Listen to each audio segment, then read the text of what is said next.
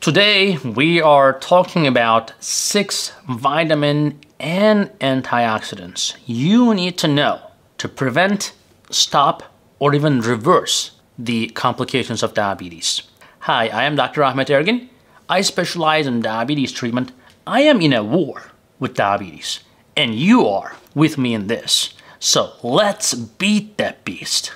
I'm going to talk about benfotiamine, alpha lipoic acid, B6, B12, vitamin D, acetyl L-carnitine, and how they can help you and when they are used effectively to stop or avoid diabetes complications. Who cares if your blood sugar is high if your blood sugar did not cause complications, right? The point of keeping blood sugar normal or close to normal is to prevent complications such as neuropathy, nerve disease, eye disease, kidney disease, heart disease, etc. When you have diabetes, though sometimes no matter what you do, your blood sugar can still spike, right? Causing immediate damage to your tissues and organs. There must be some other defense systems other than just keeping the glucose in normal range, right? Today, we will make sure you all know about these defense factors. Let's talk first about how this damage happens to begin with so we can get to the bottom of it to fix it and we know what we are dealing with, right? Well, food, mostly carbs, they all turn into glucose, right? In a healthy person and then they're absorbed into the bloodstream and then the pancreas secretes the hormone of the insulin and da da da da. da. You all know this, right? And then insulin helps the glucose go into the cells, and then the glucose turns into energy and used and stored, whatever, right? So the cells of pre-diabetic and diabetic people, on the other hand, what they do, they resist the insulin, and it creates a glucose intolerance. The islet cells or the beta cells, which are specialized cells in the pancreas, respond by pumping out extra insulin when this happens, the insulin resistance. The islet cells burn off completely over time and then high blood sugar happens and we call this a diabetes, right? Well, then you end up with a bunch of insulin prescriptions or other medications to just keep the diabetes under control. Well, here's the big news. Despite these obstacles, most cells remain reasonably normal they maintain their internal glucose concentrations. But certain cells, like most notably endothelial cells, which line the insides of the arteries and the capillaries, are less self-regulatory. They have a tendency for accumulating large amounts of internal glucose, which they are unable to adequately digest. This leads to accumulation of intermediate glucose breakdown products which activates the metabolic pathways linked to the beginning of diabetes complications. Now, what are the endothelial cells I'm talking about, right? Well, endothelial cells are like asphalt on the road. If sun gets really hot and melts the road down, what happens? Nothing moves, right? Then supply shortages will happen and everybody will be in pain. Well, your body is no different. If the cells lining your arteries, which resembles your highways, or even smaller regular streets are not functional or broken down, and of course your nerves, your kidneys, your eyes that rely heavily on blood supply and the nutrients will suffer the most. The hazardous intermediates of glucose breakdown leave a wake of damage particularly in the small blood arteries that feed the eyes, the kidneys, and the extremities. Now, this faulty glucose metabolism, for example, may result in blindness in the retina. It may cause irreparable tissue damage in the kidneys, eventually leading to renal failure, kidney failure, and dialysis. It may also induce vascular disease and nerve discomfort in the extremities, sometimes all the way necessitating, unfortunately, amputation. Now, Fortunately, benfotiamine, a little known fat soluble form of vitamin B1, has been shown to help in the prevention of many diabetic complications. As a result, benfotiamine has emerged as a critical nutrient for those seeking to avoid the potentially fatal effects of chronically high blood sugar levels. Now, benfotiamine has been used as a prescription medication in Europe for decades to slow the progression of diabetic nerve damage, kidney damage, eye damage, etc right? So diabetic neuropathy especially impairs the function of the microvasculature, which is the tiny blood vessels in the extremities, as well as the ability of the nerves to carry messages to the brain. Now, this pathological blood vessel damage causes numbness and painful tingling in the feet and hands sometimes, which can lead to pain and in worst case scenario, unfortunately amputation sometimes of the lower extremities. Now, benfotiamine works by blocking the biochemical pathways through which high blood sugar damages cells throughout the body. Benfotiamine, which is now available as a dietary supplement, including our supplement, can help diabetics protect the nerves, kidneys, eyes, blood vessels, and heart.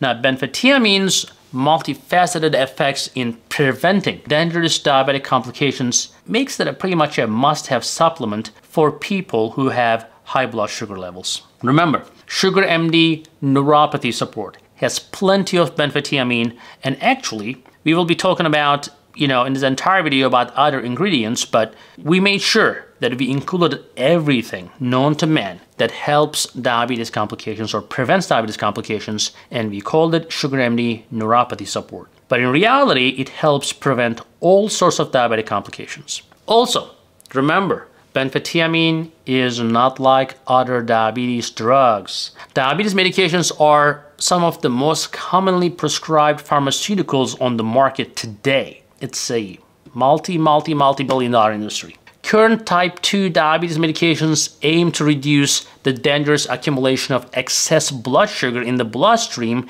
by either increasing the insulin production or improving its effectiveness. We have 80 plus diabetic medications in the market today. And yet, diabetic people are still having complications of diabetes. Now, many people have neuropathy or kidney disease. They may or may not know, but they will know because I see them every day and I let them know. Most of the time, they're not even aware of it because treatment is not complete or holistic without using what nature provides as natural defense systems, such as benfotiamine or alpha lipoic acid, etc., that we will be talking about in a minute as well. Yes, you heard me right. Benfotiamine is one of the most effective, yes, underutilized treatments for preventing diabetes debilitating complications. So, what is it really?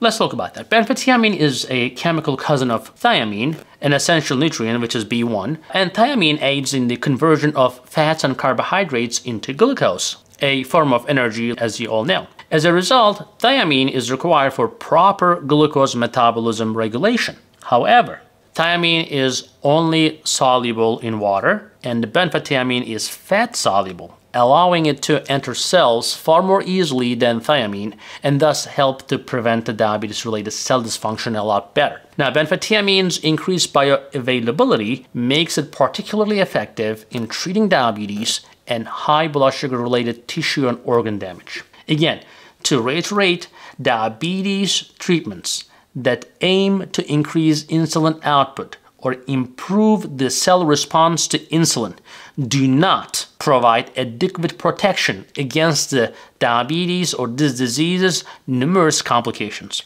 While diabetes medications help to address the problem of abnormally high plasma glucose levels, only benfotiamine and alpha lipoic acid kind of substances will lower intracellular glucose levels and modify the body's biochemical response to the toxic breakdown of the products of excess sugar. Benfotiamine promotes also the production of a very important enzyme, transketolase, a naturally beneficial enzyme that efficiently converts potentially toxic glucose breakdown byproducts into harmless compounds that body can safely eliminate. Now, several studies have shown that the benfotiamine inhibits three major pathways that lead to the formation of toxic substances like advanced glycation end products. Now, these things have been linked to the development and progression of a variety of diabetic disorders such as neuropathy, the retinopathy, as we discussed, even peripheral vascular disease, the arterial blockage in your legs and so forth. Nephropathy is another one, like the kidney disease, as we talked about. Now, Surprisingly, the same substances actually are related to cardiovascular damage that's also observed in aging adults who do not even have diabetes. In fact, even in non-diabetics, aging is thought to be a major risk factor for development of cardiac dysfunction. As you know, not everybody who has heart disease have diabetes, right? There's other risk factors. But these advanced glycation end products accumulate over time, even in older adults, even without diabetes. That's why, you know, eating too much sugar has been linked to cardiovascular disease, even if you do not develop diabetes from eating too much sugar. Now, unfortunately, in diabetics, this process is simply accelerated very much so, okay? So what we are saying here that compared to non-diabetics, the benefit from benfotiamine will be so much better if you have diabetes. Now, benfotiamine has been used as a prescription drug, like, like I said, in Europe for many years, and in, in the United States, nobody even cares about it. It's like a hidden gem. Nobody knows about it. Now, researchers are turning their attention now to benfotiamine, and it's available in the United States as a dietary supplement. And guess what? You know, the pharmaceutical companies are not going to spend money on this because they're not going to be able to sell this for a $1,000, right? So it's so inexpensive that nobody's going to promote it. Research is uncovering the evidence that it helps to offset the dangers of numerous complications of diabetes and high blood sugar. Now, benfotiamine also guards the sensitive nerve and brain tissue. As you know, one of the most common and painful complications of diabetes is neuropathy. Also, we call this a, you know, we can call it a nerve disease or neuropathy, but diabetic neuropathy has the certain characteristics. Now, damage to the extremities, peripheral nerves, results in pain that is typically not relieved by traditional pain relievers. Numbness and changes in the sensation in the limbs can happen. Polyneuropathy can happen, which means that the multiple nerves are involved in the extremities or in other body parts. Now, benfotiamine has been shown in clinical trials to effectively relieve diabetic polyneuropathy. So not just your feet or hands, you know, any part of your body, you may have neuropathy. Neuropathy can even happen in your heart. Neuropathy can ha happen in your torso. A recent random double-blind study in Germany discovered that diabetes uh, patients with polyneuropathy who took 300 milligram of benfotiamine per day for three weeks saw a statistically significant improvement in nerve function scores. The most noticeable effect was a reduction in pain. The study's authors stated that their findings back up the findings of previous randomized controlled trials that found the evidence of benfotiamine's beneficial effects in diabetic neuropathy patients. Now, diabetes, as you know, has been linked to increased oxidative stress, which is a factor in many age-related disease processes as well. The delicate tissue of the brain is especially vulnerable to the damaging effects of this oxidative stress due to diabetes.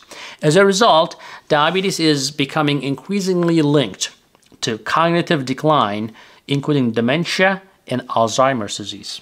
And according to a new study, benfotiamine may protect the brain from oxidative stress associated with diabetes.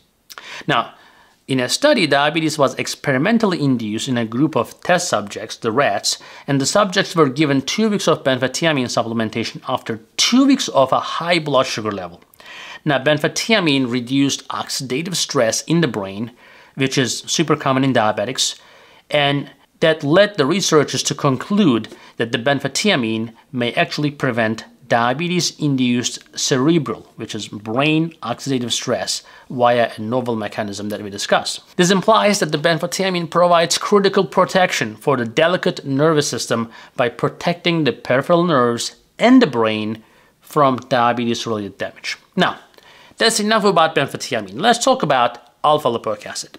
Not just diabetes, but also chronic disorders such as Lyme disease, shingles, thyroid disease, kidney failure, HIV often cause nerve damage due to oxidative stress. People experiencing pain from unknown sources reported fewer severe pain scores when they took 400 milligrams of oral alpha lipoic acid supplement compared to those who took a placebo. Again, according to a clinical investigation published in 2021 in people with diabetic neuropathy, a potentially severe disease that occurs especially in advanced diabetics, but can happen in pre-diabetics as well.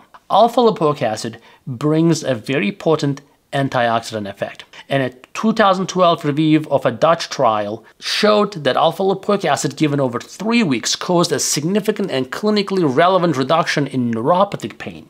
So, I'll tell you more. A second assessment of a research indicated that a daily dose of 300 milligram of alpha lipoic acid for two to four weeks was both safe and effective in alleviating neuropathy symptoms. Now, as a bonus feature, a systematic review and meta-analysis of 20 randomized controlled trials published in 2018 looked at the use of alpha lipoic acid in people with metabolic disorders. Some had type 2 diabetes, while others suffered from other metabolic disorders, etc. But the meta-analysis concluded that the alpha lipoic acid supplementation reduced fasting blood glucose, insulin concentration, insulin resistance, and hemoglobin A1C levels in the blood. Let's move on to B vitamins. We already talked about the fat-soluble B1 vitamin, which is the benfotiamine, but other B vitamins also are well known for their ability to promote normal nervous system function. For example, B6 and B12 have been shown to be particularly beneficial in the treatment of neuropathy. Well, that's why we have put all of these vitamins in Sugar MD neuropathy support. Benfotiamine, like we discussed, aids in the reduction of pain and inflammation, whereas vitamin B6 protects the covering on nerve endings B12 is required for proper neurological function, and a lack of B12 can definitely result in neuropathy. That's known by pretty much even a medical student. Now, many of you who take metformin regularly for years are more than likely to be B12 deficient. B vitamins are available as supplements or in eggs and seafood and vegetables and dairy products and so forth, even poultry. But it may prove difficult to get enough vitamins through eating unless you don't mind gaining weight. Acetyl L-carnitine also is another one that I want to talk about, and that's an amino acid and antioxidant that promotes the formation of healthy nerve cells. It alleviates nerve pain and it increases the energy levels. Again, this has been shown to alleviate cancer-related fatigue and chemotherapy-induced neuropathy too. So it's available as a supplement, and we have it in our supplement, and it also occurs naturally in very small quantities in foods again such as meat, fish, poultry, and dairy products. Lastly, I will talk about vitamin D. Now, researchers investigated the effects of vitamin D replacement on neuropathic pain, and they looked at in a randomized placebo-controlled trial and study of patients with this neuropathy and low vitamin D levels and they based their research on the studies that showed the vitamin D associated improvements in axon regeneration and myelination of the nerves, etc., after the nerve injury. Now, what happened is there was a increase in the growth factor synthesis and natural regeneration in these nerves. Most of the time, diabetics are vitamin D deficient, and they don't even know about it. To get enough vitamin D, you either have to eat salmon three to four times a week or go lay down on the beach for like hours of a day. Well, not sure if that's an easy task for anyone, so better to take a supplement to get what you need without having to go through all that. Plus, knowing that being deficient in vitamin D won't help your neuropathy, you should probably make sure find a way to get those vitamin D levels up. We also Got you covered with that in our supplement, in our Sugar MD neuropathy support. Sorry, it sounds like I did a lot of advertising of my own product, but hey, if nobody explained these to you, you wouldn't know it, right? So it's better to be safe than sorry and know it. You don't have to buy any of my supplements, but I want you to know what works for you and what will help you prevent your diabetic complications.